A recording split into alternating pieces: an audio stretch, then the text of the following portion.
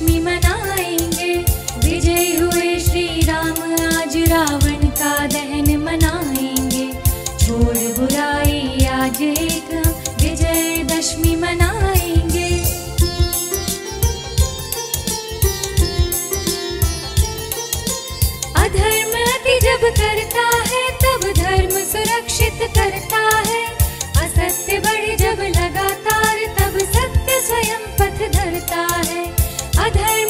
जब करता है, तब धर्म सुरक्षित करता है।